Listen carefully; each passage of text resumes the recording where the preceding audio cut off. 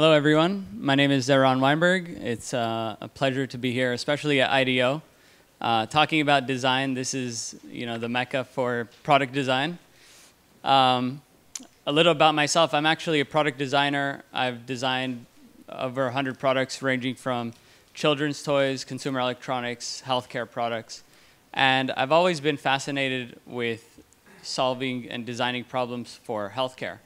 And one of the big issues in healthcare, really, that I've been trying to tackle in this space is how do we design a system for distribution and marketing for all the products in the space? Because we all know distribution is one of, one of the hardest parts in this, in this space.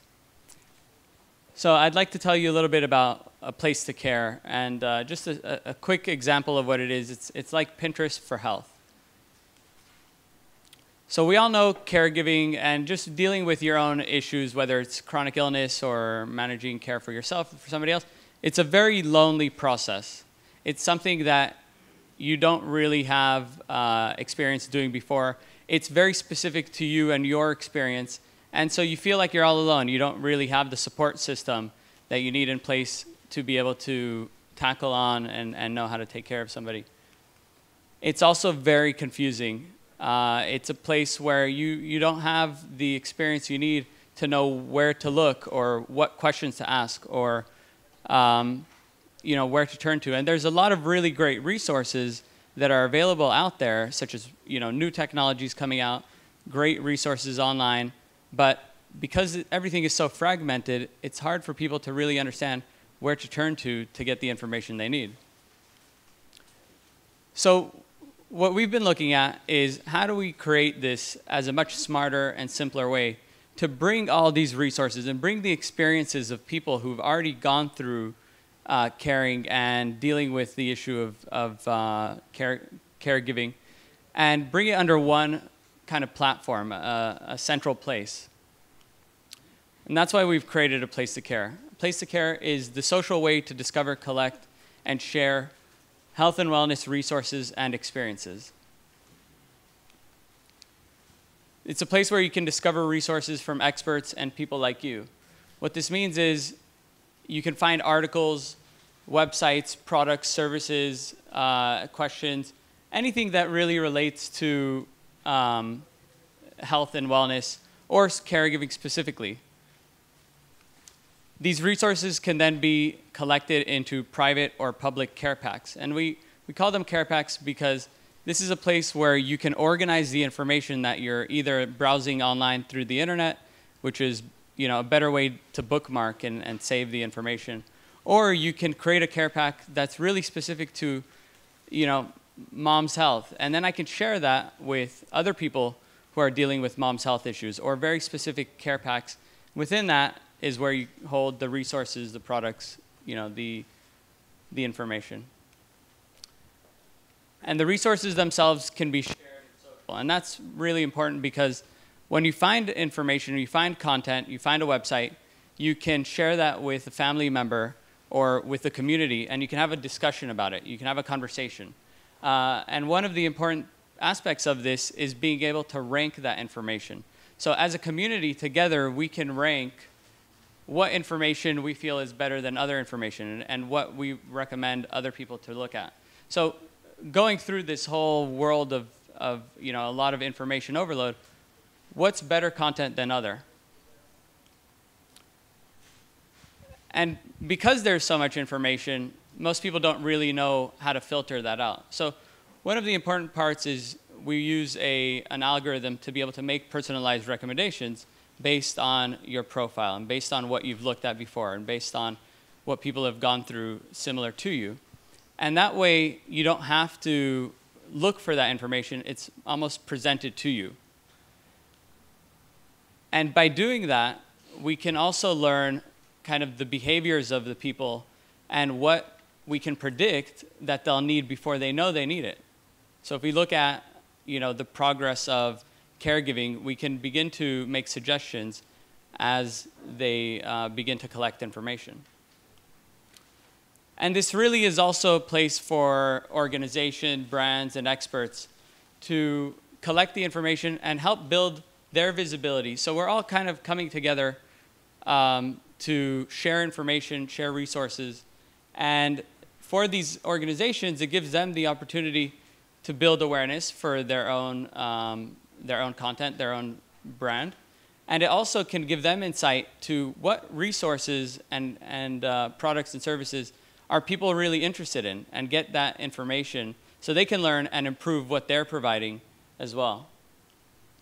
And really, it's, it's about creating a winning partnership for everybody. So it's a, it's a very fragmented market. It's a very fragmented space. How can we all come together and share resources, share, share uh, in terms of a partnership for everybody to bring this into a cohesive system, an ecosystem, whether it's organizations and brands coming together or just people who can support each other through this process. And uh, just to conclude, I'd like to invite everyone um, to join our private beta. You can experience and give us feedback, and we can learn and, and share as well. And you can go to aplacetocare.org, or you can email me at eran at aplacetocare.org. Thank you.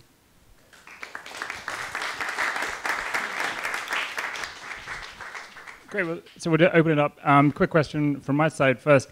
Do you find that the caregivers are online and are as obsessively excited with social networking as the sort of perhaps younger Pinterest users would be? Have you got people actually using this stuff already?